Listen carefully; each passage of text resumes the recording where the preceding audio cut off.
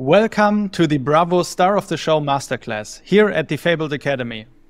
Today we are taking a look at a deck list for Starvo in the Living Legend format with Florin Christian Loghin. He went second place at the Pro Tour New Jersey with Starvo and we already covered Starvo's origin in our last video. Florin, welcome to the Academy. You know, thank you for having me again. Yeah, it's a right to talk about Starvo, to be honest. It's such a powerful hero, and it's also so amazing to talk about whether the new meta will be changing for Starvo or will he dominate as he was back then? Yeah, I definitely think Starvo is more than in a good position to have some good results. Um, there are new cards and old cards that Starvo is allowed to play again. That being said, there are also new contenders, which didn't exist before. I think it will definitely be an interesting format and definitely a change of pace to what is currently classic constructed. Yeah, so in this video, we will take a deep dive into a deck list that you prepared for us, where we can witness the full strength, full force, so to say, Starvo. But to all the viewers who don't know about the Living Legend format yet, check out the basics video that we where we covered Starvo, but also check out the video covering the basics for the Living Legend format that you can play this year at the World Championship in Barcelona. Now let's jump into the deck profile right ahead. Beginning with your deck list, Florin, what makes Starvo's a powerful beginning? Of course, because many of Starvo's main strength is to dominate powerful attacks and give them go again. So if you reveal an Earth, Ice, and Lightning card at the start of your turn, your next attack would cost 3 or more, uh, gains 2 plus 2 attack, dominate and go again. So of course this paired with the Guardian attacks, strong on-hit attacks, can become very devastating. And in addition to that, you're allowed to play Oldhim's favorite weapon, Winter's Wail. And you have ice cards, so they give Frostbite in this deck. So of course, this pairing becomes very strong, especially into decks that cannot handle Dominate well, which, let's face it, are most decks. So that already puts you, let's say, on a good starting course. We can also see from the equipment, we have Crown of Seeds, one of the best equipments ever printed. We're playing Fyendal's, Spring Tunic, another fantastic card. And of course, you'll have access to Stalagmite because you are an ice hero.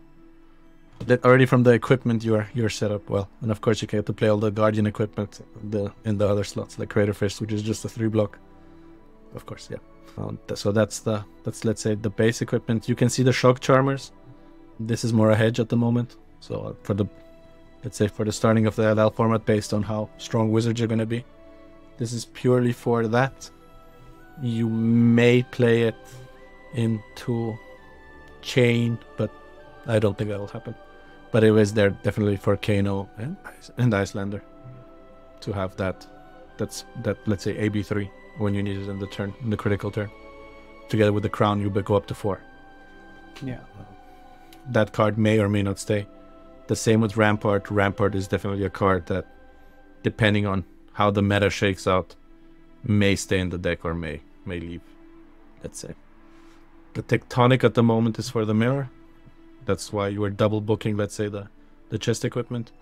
Together with the stalagmite and shoes, it allows you to block one powerful turn from the opponent, so one dominate turn from them so you don't get crushed. I think that's why it's there. The justification for it being there.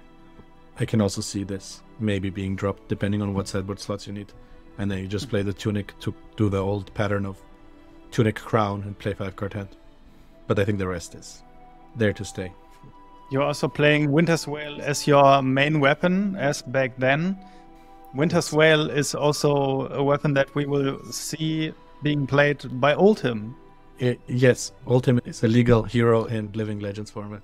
Um, the difficulty with Oldhim, which I think is a little bit of, let's say, shame is that Starvo can do a lot of what Oldhim did because you are Earth Ice Guardian, and but you have access to Crippling Crush, which they don't have access. But I have access to their Oaken Old because for some reason that is not an Oldhim specialization. so I think I think Starvo is gonna be a lot, carrying a lot of the Winter's Wail, because even if you want to play this, let's say tankier builds of Starvo or of a Guardian, you will still be playing Starvo. I believe. And I think for the beginning of the format, I don't see fatigue decks flourishing. Let's say. I could be wrong, but I'm very skeptical. Yeah. When we go down your list, what are the key cards to look out for in your main deck? Yeah, when people are going to look at this deck, they're going to think, what is this? How does this all make sense? But essentially, because your goal is to show Earth, Lightning, and Ice each turn, you want to be playing a good ratios of those cards. I think in this deck, as far as I'm aware, it's 17 of each element that you can show. Of course, the pulses help because they count for two. So you have one lightning ice, one earth lightning, and one ice earth pulse. These are, let's say, the filler, if you so will, of the deck. And then the power cards are, of course, Crippling Crush, Spinal Crush, Oaken Old, and Starstruck. We know this from Bravo, currently, let's say, in Classic Constructed. But as bad as it is in Bravo, it's much, much worse in Starvo because it comes for 13. It's got Dominate. Um, the same with Oaken Old because Oaken Old will always be fused when you show and tell, let's say. So it will be coming for 11. And this one only needs to hit. So you need to block the full 11, which on a dominated attack for most decks And if you pair it with a Pulse, then it will come for even more. So the Pulse of Haven. And then the newest edition, which you didn't have access to in terms of attack cards, are Starstruck the way this works is if it has a crush effect, if you deal 4 or more damage to a hero, the only attacks they may play or activate, that means also weapon, during their next turn are attacks with base greater than the damage dealt this way. So that means you need stuff that has just when it crushes, it needs to be 4. It needs to be 5. so base 5. And then it goes up, right? Because this is coming for 12 and it's dominated. So you block with a 3, you're basically not doing anything in your turn or you're not attacking me at least. Yeah. Uh, you can see this uh, even in the mirror. It could be that you cannot play a card if this hits you, right? A very strong addition. Those are from let's say from the attack side, and then from the defensive side, the biggest upgrade, let's say, that you didn't have access to is hypothermia. This was in Uprising, the card that that stops the go against attacks you control. So you play this and the opponent receives it, it's an affliction on aura, attacks you control can't gain go again. This does not affect attacks that naturally have go again. So if it's written go again on the card, this doesn't affect it. But all the cards that require go again, for example, Chane gives go again, they just can only play one attack. Um, and because the big attack in Starvo has go again, you can just play hypothermia afterwards. So rather than swing the hammer, you just give them hypothermia. And then they're basically locked for one turn. Yeah which uh, this might not sound like a lot. It actually becomes an, a, a problem that Chane needs to solve, especially going into the later stages of the game where they have high blood debt. So even though at, at the beginning it can seem to the Chane player, or at first thought it doesn't matter, then I'll just have three extra card in my blood deck. But those three become six next turn, and you're not clearing six the turn after that. Or let's say five. You have five cards in blood debt, and you're just gonna bleed down to that. So that's let's say the issue for the Chane players that they didn't have to face before. Yeah, and then I think I put it in the sideboard for now, but it's of course a fluid concept. It's Awakening. So this card was banned for, let's say, most of the time that Starvo was alive, at least for the big tournament. So Pro Tour 1, this was banned. The card says Earth Fusion. If you have less life than an opposing hero, create Seismic Surge tokens equal to the difference in life. If it was fused, instead create twice that many Seismic Surge tokens. Then you can search your deck for a Guardian attack action card with cost less than or equal to the number of Seismic Surge tokens you control. Reveal it, put it to your hand, and shuffle your deck. So this is an instant, and it costs 2. So Crown costs 1, this costs 2, that's a blue. You can see how this has become very devastating. That's why you also have a Pulverize as well on the sideboard. So what this does is this becomes, let's say, an equalizer. So you getting a pull. So pulverize costs 10, right? But if I'm fusing it with earth, it only costs 5. Or it's for free. Just, I can search for it and it's for free. Playing a free pulverize, and then if I can show and tell on top of it, that's 16 with go again for free. That, let's say, swings the game back into my favor. This was the problem that Chane had before the Awakening ban. You could. So Chane can't choose when the it can choose, but Chane ramps up its damage and it needs to do the damage. Chane can't go slower. I, I don't know if that makes sense what I'm saying. So it blocks with a few cards and then it needs to play its blood then. But it needs to play its blood then the turn. So because you can't stack it up too high. You can stack it up at the beginning to build powerful turns. But when you have three, four, five shackle, you're committed to playing them out. And then the Starvo player can with awakenings in deck can basically navigate that much better. Especially when you start getting to low life tools. So because I can earth use it, I don't even need to be down 10 life, which is a lot, right? I can be down just a little bit. I can be down 5 life. Or I can even be down 3 life. And then I can get something for 6. Spinal Crush is 5. So if I'm down 3 life and I can earth use this, I can get a Spinal and play a Snap Spinal for free. Or I can get a Crippling Crush. Or I can get a Starstruck. Yeah, that's the things that people need to be aware of now that this is a new Starvo than what is what has been around. Also for Fai this is a problem. Right? Yeah. So not only am I getting it for free, but I'm getting the on hit that I need for my deck to hit you with. You have 60 cards in your main deck here and Awakening in the sideboard. Are there any additions that you would make depending on the meta that you're facing in the Living Legend format? Yes. So basically, so we talked a little bit about equipment, so you could get one or two slots. I can also see playing less defense reactions in the sideboard. So we played a little, we tested a little bit of Starvo with Awakening, but it could be that the games play out now that you don't need to be so defense reaction heavy because of Awakening. So before the problem you had is you couldn't catch up to the other Starvo player in the mirror. So you wanted to have these defensive solutions to their powerful turns. Because if they drew their crippling crush before you and they crippling crushed before you, you were very behind, right? But now that you have awakening, maybe you don't need to rely so heavily on so many copies of defense reactions. What this means it frees up it frees up your sideboard for other on hits which are specific.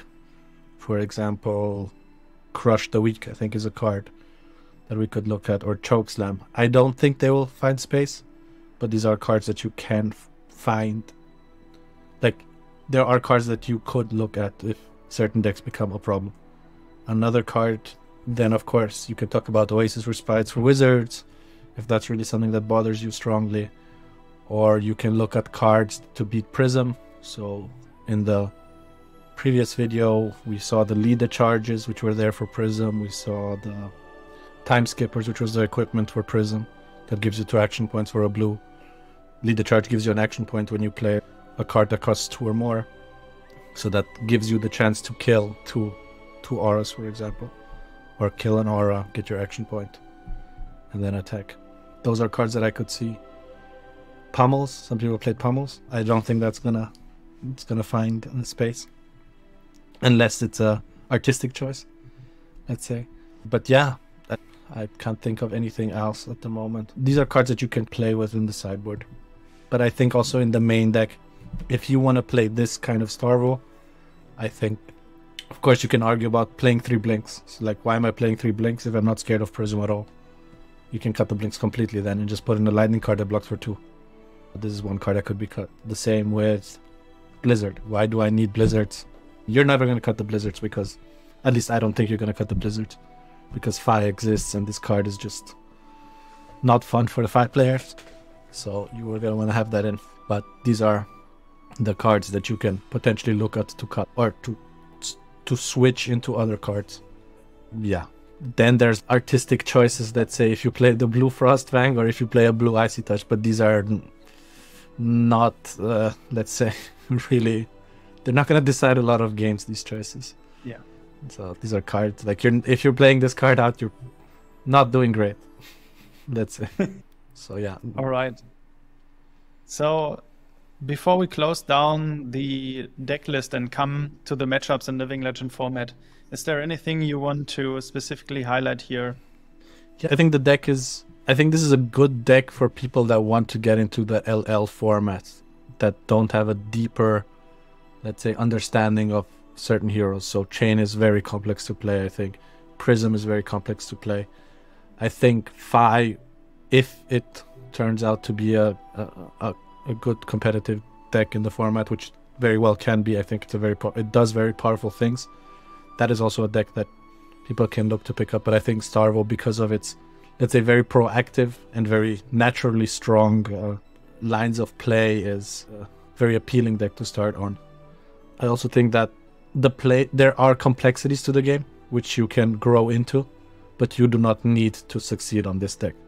Right? You can just fuse three turns in a row and you will win. That doesn't sound very fun or exciting or challenging, but these are games that you will have with Starvo if you are looking to win the Battle Hardened at Worlds.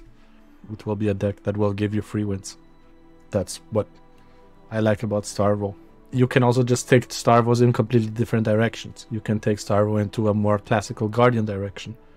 There were people that at Pro Tour 1 played a more defensive value esque Starvo that resembled or had similar cards or ideas to the Oldhim list that later came out, where you're leaning heavier into the Winter's Wail. Um, you can play, you can approach it in that form. I personally would not recommend it because of the power of the format. I don't think the format will stay as it is. To be perfectly honest with you, I think there will be some bans or I don't know, maybe limitations to one. I don't know if they want to take that approach from other card games where they say if I have this eternal format that where everything is allowed, maybe I have limitations of one rather than completely banning out a card. But I think, yeah, I don't think you're unfavored if you pick Starvo. So let's talk about the best matchups that we can run into with Starvo when playing in the Leg- Living Legends format, and also highlight a few of those decks that you need to be aware of, but that are really easy to win. I think because of the on hits that you have, you are well positioned, let's say, into decks that go wide. So you have Spinal Crushes, you have the Starstrucks, you have the Crippling Crushes. This these cards historically do well against Faiz, against Runeblade decks.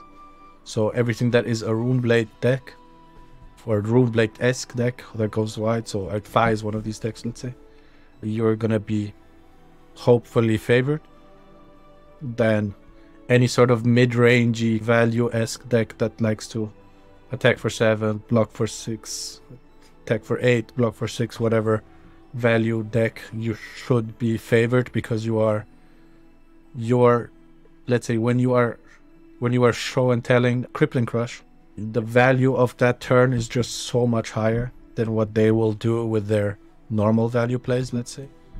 So you should be winning those. You should be favored into fatigue matchups because you're just naturally dominating. Uh, so you see i'm going through a lot of the archetypes that you now find in classic construct I think this is important also for the people to realize that LL is not going to be classic constructed. So we're not going to be playing, for example, now that the deck that won uh, US Nets, the Briar deck, I don't think this deck is to be good in LL, for example.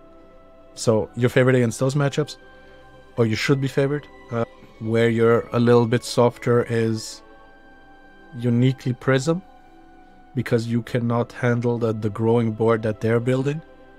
Your deck is just not equipped to do that well. So when they're putting two auras, you can only clear one aura.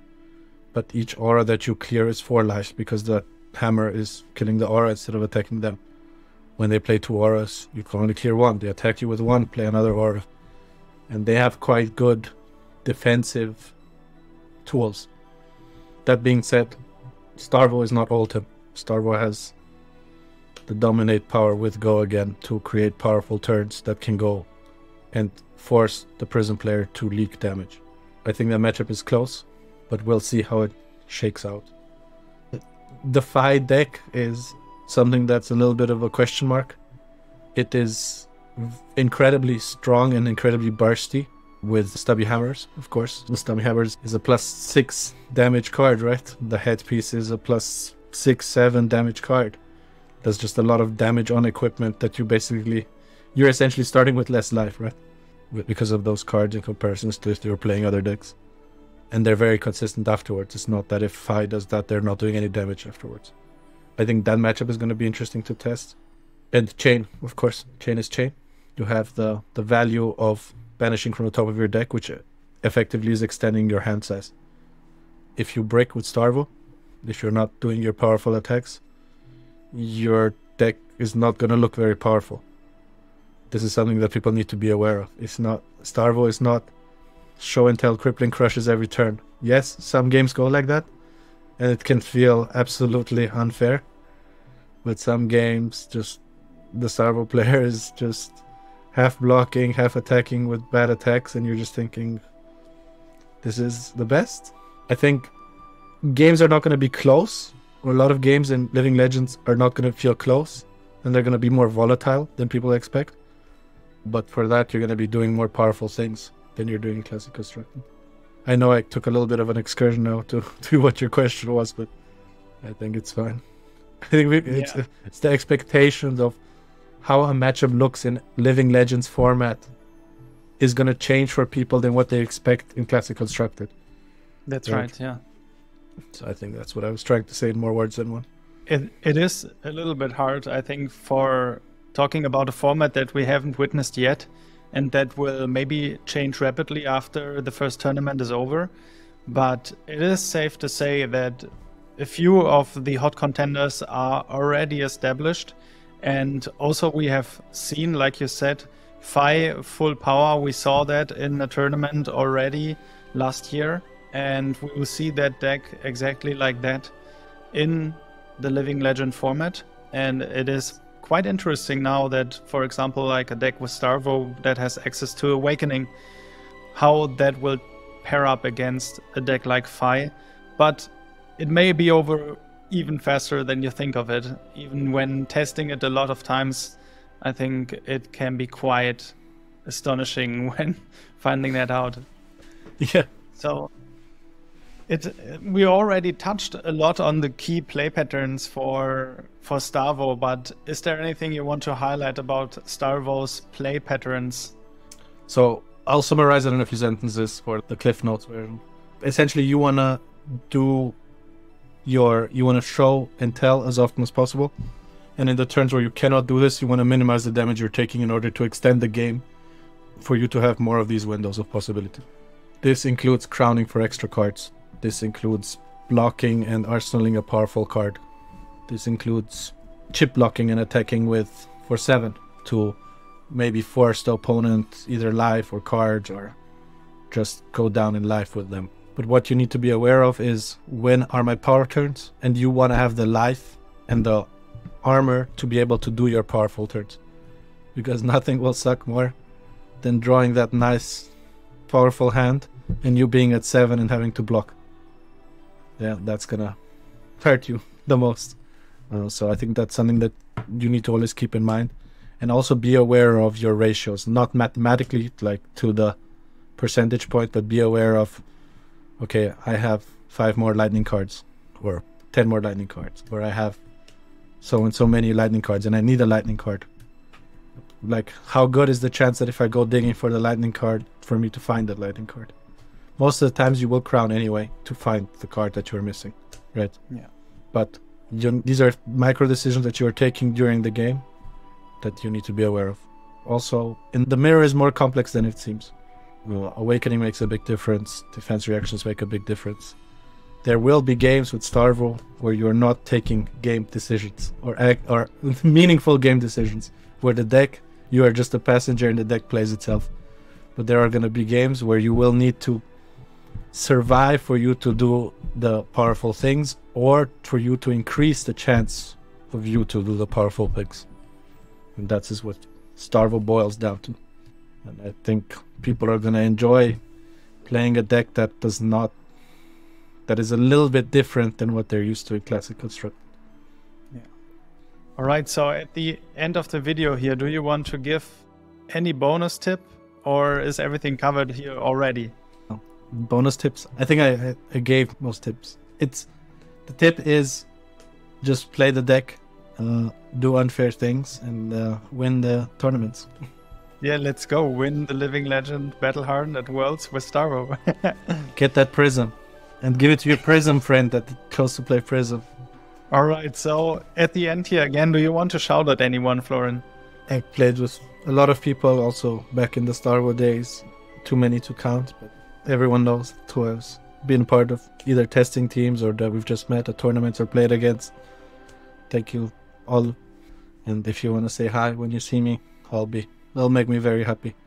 All right, definitely do that at the World Championship in Barcelona. Florin, thank you so much for taking the time, preparing the deck list for the Living Legend Battle Hardened at Worlds for us, and diving into it. Thank you for having me. All right, and to all the viewers, thank you so much for tuning in today's masterclass. If you found this lesson helpful, leave a like on the video, comment down below for Florin if you have any questions left, and subscribe to the channel for future masterclasses. Also, check out the existing videos on the channel.